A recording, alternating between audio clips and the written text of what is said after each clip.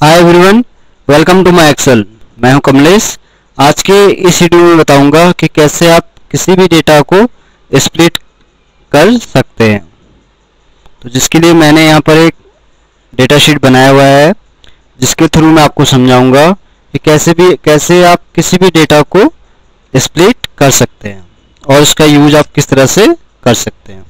तो उसके लिए चलिए देखते हैं कैसे हम किसी भी डेटा को स्प्लिट कर सकते हैं। तो उसके लिए जैसे सपोज़ करो मुझे ये डेटा स्प्लिट करना है, ठीक है? तो उसके लिए मैंने सारा डेटा यहाँ पर सेलेक्ट किया, ठीक है? सेलेक्ट करने के बाद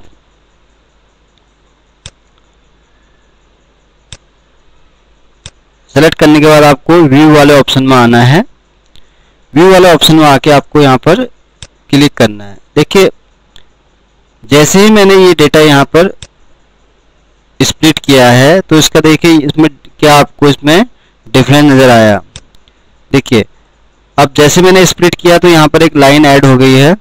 अब देखिए, जैसे मैं यहाँ पर ऊपर क्लिक करूँगा तो डेटा जैसे जैसे ऊपर बढ़ता जाएगा, वैसे ये चीज़ आपको, ये देखिए, ऊपर ये ये देखिए, मैंने ऊपर क्लिक किया तो ये जो डेटा है, इसी के अंदर से ये अंदर को होते हुए जा रहा है। जहाँ जहाँ मेरा कर्सर है, वो देख रहे होंगे आप यहाँ पर। सेम चीज़ आपको यहाँ पर दिख रही है। अब देखिए, इसमें क्या है कि एक ही डेटा के दो पार्ट यहाँ पर डिवाइड हो गए हैं। ठीक है? अब इसको आप ऊपर करें।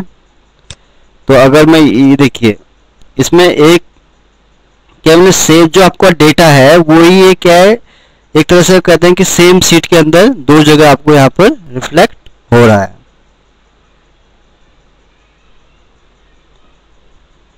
जैसे आप इस वाले टैब में आया तो मैं इसको यहाँ से अप एंड डाउन करके इसको डेटा को यहाँ से दे सकता हूँ। और एक ये है जो करंट में मेरे पास है, इसको मैं ऐसे यहाँ पर देख सकता हूँ। तो है ना एक अच्छा? स्प्लिट का बहुत ही अच्छा ऑप्शन होता है। इसको आप अपने तरीके से यूज़ एक्सेल में कर सकते हैं। अगर आपको लगता है कि पूरे विंडो नज़र नहीं आ रही तो आप इतना इसको इस तरह से ऊपर नीचे अपने कन्वेंट के हिसाब से इसको यूज़ कर सकते हैं। अब आप चाहते हैं कि अगर आपको रिमूव करना है तो आपको यहाँ पर आके दोबारा इसमें क्लिक कर देना है तो ये डेटा आपका रिमूव हो गया।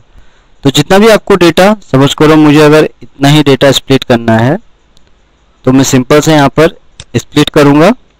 तो अभी आप देखिए, जितना मैंने डेटा यहाँ सेलेक्ट किया है, वही सेम यहाँ पर आएगा।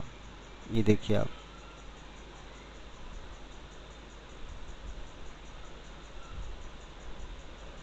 ठीक है?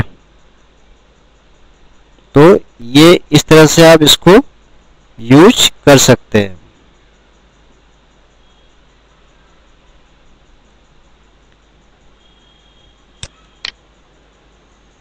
इसको आप यहाँ पर, अगर आपको चाहते हैं कि इसका यूज़ अब नहीं करना है तो इसको यहाँ पर अनहाइड कर देंगे।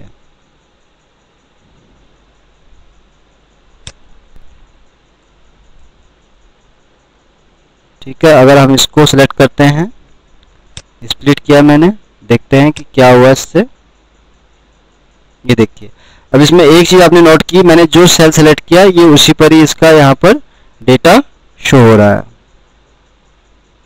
इसको आप दोबारा क्लिक करेंगे तो ये यहाँ पर स्पीड हट जाएगा। तो उम्मीद है आपको ये स्पीड बनाया गया वीडियो पसंद आया होगा। अगर वीडियो अच्छा लगा तो प्लीज़ इसको लाइक करें शेयर करें। तो आज के लिए बस इतना ही है। Bye bye